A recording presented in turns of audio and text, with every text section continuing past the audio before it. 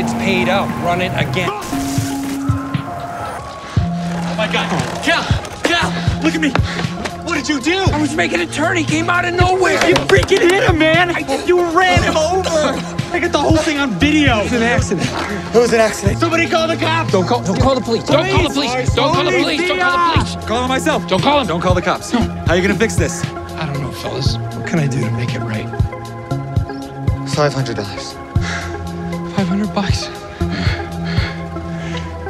Ow! What the hell, man? Listen, Starlight Express. I'm gonna give you a 9.6 for technique, 0.0 for choice of victim.